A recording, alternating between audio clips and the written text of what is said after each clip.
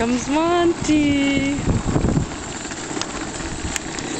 Oh no! you lost Tinker.